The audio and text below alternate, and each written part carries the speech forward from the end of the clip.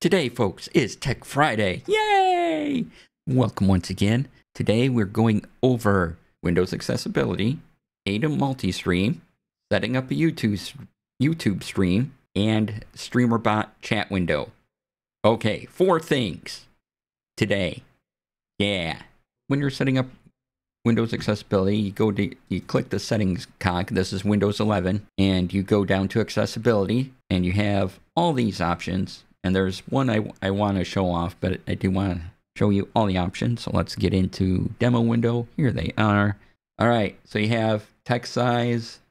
You can change that. Visual effects, scroll bar, transparency, mouse pointer and touch. So you can change the size of the mouse pointer, color, size, your text cursor, and what we're talking about, what I'm doing right now, the magnifier, because I really like this magnifier. You can set up a similar thing if you have a Mac. Their accessibility options will allow you to change your magnifier to do exactly what mine is doing right now. And you have color filters, color blindness filters, grayscale, inverted, contrast themes, and you can get some narration there, hearing action options, captions, audio, speech stuff, keyboard, filter toggle keys, on screen keyboard, mouse, and eye control, eye tracker, text to speech. But today we're going to focus on the magnifier to do the exact effect I am doing right now. They click the little arrow here, boop, and you got to turn on the magnifier. They can do it window keys, the plus sign, turn on magnifier, press the Windows load key, or you can set up, uh, you know, the hotkey on your Stream Deck so you just have a button to press. And when you do that, you get this menu popped up right here, little magnifier, so I can change some of the options here. You know, setting more settings, play magnifier, right? So that comes up, lets you know it's active. And here you can do your zoom level. Again, there's a Windows hotkey for that. And your zoom increment, I just leave it on default. I think 200 works right now. And then here's the important part to get this view, and then you gotta change the view to lens. So click here, and then you can change your view to docked full screen lens. I have it currently on lens, and then you can change the size of the lens with scroll bars, horizontal and vertical, and you can get this handy effect, which I really like. This is replacing the mouse zoom I was doing because I did get feedback that even at the most smooth settings I could make it, it still was causing motion sickness. So when I do demos, I'm going to turn on the magnifying glass and use that to highlight things. I think that would be useful. All right. So that was topic one. Yay, us. Aitum multi-stream is the way to multi-stream. There's a period. That's it. There's no buts or anything. If you want to multi-stream to things, go go to the Aitum site or the OBS site and get the Aitum multi-stream solution. It's currently the best thing for multi-streaming. And what I've done is I've undocked it from my OBS so I can show it off. So it's in another window completely. If you didn't know, everything that's a dock in OBS you can drag it out of the OBS window and put it on another monitor if you don't want to see it in your normal OBS. So it, for dem for the purposes of this demo, it's not in my OBS. It's over on my other monitor, and we'll take a look at it. Boop, just like this. Okay, so here it is. Aitum multi-stream. Get your built-in stream, which is what your built-in stream is whatever you set in your base settings in OBS. When you go to OBS, you hit settings. This is always going to be what the built-in stream is, whatever you tell OBS to go to. Highly encourage you make this one Twitch because it allows you to do a couple other things. And we'll get into that in just a moment. And this needs to run first. So you set up your built-in stream, always needs to run first. You click the button, you're streaming. All right. And then you can see I have my YouTube horizontal up and I click that button. So click this first. And then because these two things currently have a relationship with each other, you got to click your built-in first and then the one below it, and now you're streaming on YouTube as well. Yay. And as you can see, I have YouTube vertical. I haven't done much with right yet. And to set this up, well, you, you hit the settings icon. And now I gotta drag a window over. Here's the window. So main canvas, as you can see, it tells you about main canvas here, your built-in stream. It tells you, you know, to change in your built-in output settings, you need to do this from within the normal OBS settings, what we just talked about. And then for this YouTube horizontal, I hit add output, and then you choose your output. So if you want another service, you can add it in. So I, I've named it YouTube horizontal, right? Output settings, you set here, get your YouTube stream key, and they have a thing Please enter your stream key. You can find this on your YouTube creator dashboard. And they have a link right to your YouTube creator dashboard. We'll be showing that off in a moment. And you know, you set this up, give it your stream key. You have a vertical canvas, set it here, save the output. I've already done that. And you know, so that's your output settings, right? Then your advanced settings, video, right here. If you set your video encoder to main encoder, that will take whatever you put in as your built-in stream and copy those exact options over to whatever service. So my Twitch stream and my YouTube stream have the exact same encoder settings right now. I can change this. However, go here and you see I have a bunch of options. I could do the NVENC H.264, I could do AV1, you know, whatever your graphic card and machine lets you do. They'll be listed there. So I just have main encoder because right now I want the same video encoder index, just keeping it all the same. You can change that there as well. Now this is reading the uh, enhanced broadcasting settings on Twitch. So if I wanted to send the 720p signal to YouTube based on my main encoder settings, I could.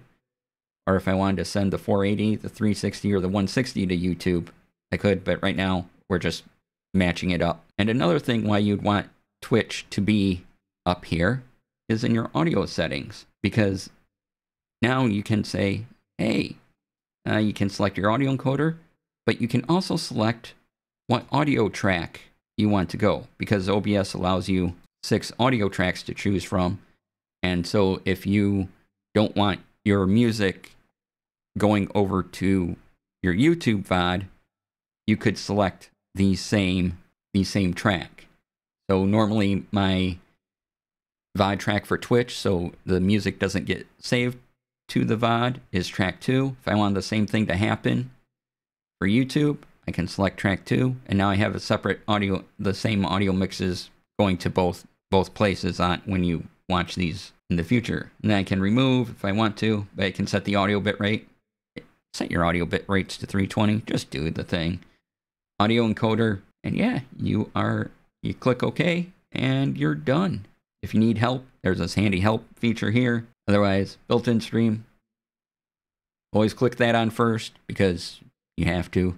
Uh, if you have your, if you, if these two settings, if you make these two things talk to each other, you have to have the built-in stream on first, and then you can do the, then you can click on the second one. And doing this, clicking this, turns on your streaming, and if you have it set up, your recording or your replay buffer all in OBS. This this handles all those settings. This goes, okay, this is your output for OBS. And so one, you have it set up to start streaming. Okay, so I'll activate the start streaming button. Okay, you also want to record the video to your hard drive. So I'll start the re video recording. Oh, you have it set for your replay buffer is on all right, I'll start that too because that's what you want when I click start streaming and the Aitum multi-stream button turns all of that on as if you were doing a regular OBS uh, broadcast or recording. There you go. That is Aitum multi-stream. YouTube. So that option to go to your YouTube settings in the Aitum multi-stream dock takes you to a page that looks something like this. And so you can create different stream keys by clicking the arrow here. So I have this default stream key. And then I have one for my vertical selection. I can't select them now because I'm streaming to this. And then, so here's the stream key. When something asks for a stream key, copy it, paste it, and then you choose the URL you need, whether it's this one or the backup server URL. These are the same for everybody. If your thing needs one of those, all those, I mean, you'll at least need the stream key, and then sometimes you'll need to put in the stream URL. If you want closed captions, like my setting is on, your stream latency for YouTube, you gotta set to normal. I know it might probably hard to see right now because again, this is what I'm streaming with and it's right here. So yeah, this has to be normal and then you can use the auto captions like I do. My stream, let me get rid of the magnifier window there. And then for every, you, you have those set up. You don't have to touch those again. But what I do, I go over here, edit, and then all the details every time I stream to YouTube. I change the title, I add, I change the description. As you can see, this is what today's stream will be labeled. You know, I, I have this here. Some of this will save auto magically, and you don't have to type it in every single time. Some of it doesn't. Uh, let's see here. Get rid of that for a moment. And then as you scroll down, you know, how do you want to go live, streaming software, visibility, category. I usually put uh, Tech Fridays into education. Thumbnail. I usually try to create a thumbnail in Canva, and then this is where you upload it to uh, what playlist you want it to. Do any of the following describe your content? This is an important button. Make a real person appear to say or do something they didn't do. Alters footage, generates realistic. So, no, none of that applies. Automatic chapter markers, I usually leave off just because I, I make my own chapter markers and automatic chapter markers and key moments can get a little weird sometimes. Uh, you can you can turn these off too. Allow automatic places, allow automatic concept because you don't you don't know what they're doing, where where they're putting your video. Then your tags, language. I always select the recording date. Uh, I haven't found a way to make this automated, so every day I stream, Monday through Friday, I'm filling this out. I'm creating a new a new thumbnail for here. I'm changing the description, I'm changing the title. I'm making sure my tags are right for that day. I'm selecting the record date. And then I also usually select Creative Commons. You can do standard YouTube license or Creative Commons attribution. And allow embedding. And then, you know, show how many viewers like the screen, all that and then you you click the save button and you're all set. Then when you click the start streaming button in either the Aitum multi-stream or whatever you're using to stream to YouTube, uh, it will come up. Oh, one one more thing. When you start to stream, and you've probably seen my tweets that go out. Again, I'm doing this Monday through Friday. I am always providing the direct link to this video on YouTube. And I don't know what an automated way of doing it. I could automate it so that it just goes to youtube.com or my YouTube. So youtube.com slash at DC And then you have to click the live video and go to live video. But I'd rather just take you to the live video. So I click this little arrow key right over here where it says share. Click this I can share to a platform, whatever. I like to have a longer message, so I don't like to just share the link to X or Twitter and do the thing. I will copy this link and then paste it into my uh, Twitter message. And usually I get rid of this question mark feature equals share. It's just extra fluff. I'm not sure how that helps me. But uh, so I get rid of that and then I just have this URL, and then I copy that message to Blue Sky and to a couple discords, and everything's the same. Again, this is my process Monday through Friday. This is part of what I do before stream, so I can stream to Twitch and YouTube. You know, plus setting up the the Twitch title and tags uh, every day as well. Now I do have a. If you're wondering about vertical streaming on YouTube. I have a video on that. Uh, I'm not going to go back through that here. I don't do it very often because it's kind of a pain to do. And it involves multiple steps that I would have to do every day. And I just don't want to do them every day.